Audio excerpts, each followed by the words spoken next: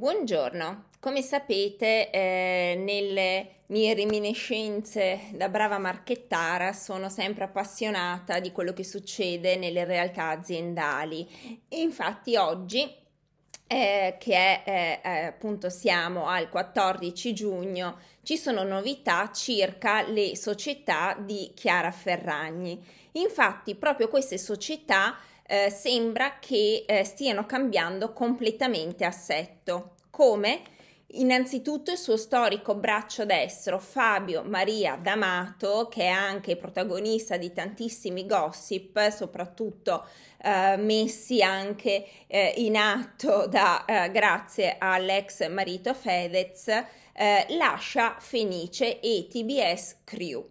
Le due aziende comunicano infatti in una nota che dal 16 giugno il manager cesserà dalla funzione di direttore generale e consigliere di entrambe le aziende per perseguire altre opportunità professionali. E voglio proprio vedere, poraccio, cioè poraccio, voglio proprio vedere eh, dove andrà a finire una decisione che parte di un percorso di rinnovamento aziendale. Queste sono state eh, le, eh, le parole appunto utilizzate per giustificare la sua uscita.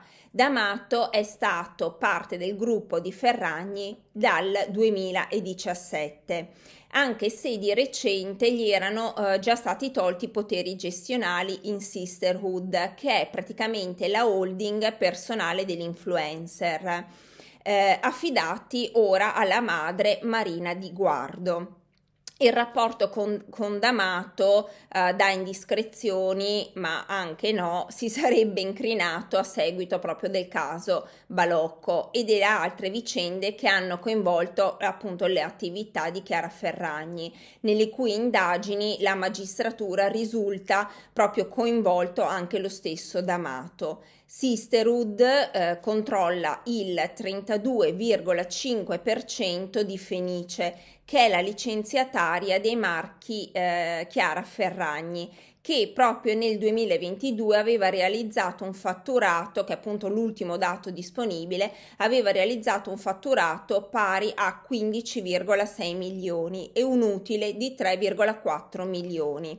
TBS Crew è invece la talent agency eh, che gestisce anche eh, blog ed e-commerce e ha un ricavato pari a 14,5 milioni di euro e un utile pari a 5,1 milioni.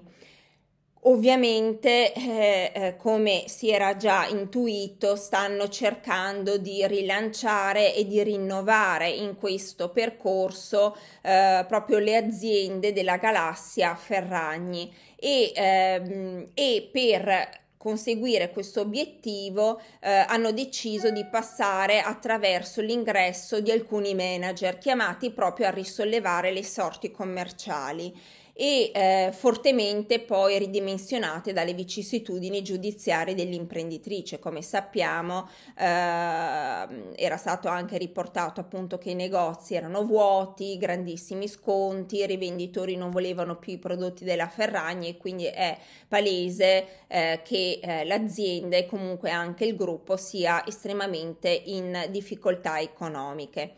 Secondo poi il messaggero sarebbe in atto anche una proprio una vera e propria revisione manageriale e un'immissione di capitale fresco proprio eh, che sarebbe pari a, ci, a circa 5-6 milioni di euro proprio con lo scopo di eh, riequilibrare i conti della Fenice SRL. Alchimia poi è eh, il gruppo che fa capo a Paolo Barletta ed è proprio eh, lui il primo azionista anche di Fenice SRL con il 40%. Ha distaccato ehm, nella società Lorenzo Castelli, un suo manager con competenze eh, consulenziali e commerciali che agirà probabilmente proprio come una sorta di commissario per rilanciare il gruppo. In Fenice poi dovrebbe anche rientrare, rientrare Alessandro Marina, che eh, era in azienda fino a cinque anni fa con un ruolo ancora da formalizzare, ma che eh, probabilmente dovrebbe corrispondere a, al CFO quindi Chief Operating Officer. Queste sono le ultime novità per quanto riguarda eh, le aziende di Chiara Ferragni, non tocco tutta la parte gossipara dei Ferragnex, ma eh, mi interessava appunto focalizzare l'attenzione proprio sul destino delle sue aziende. Se vi è piaciuto questo video eh, vi pregherei di mettere un like e di ehm, cliccare anche per iscrivervi al mio canale per sostenermi e se vi è piaciuto questo video oltre che mettere like scrivetemelo anche sui commenti per ehm, per sapere insomma se vi è piaciuto e se vi possono interessare altri video di questa tipologia. A presto!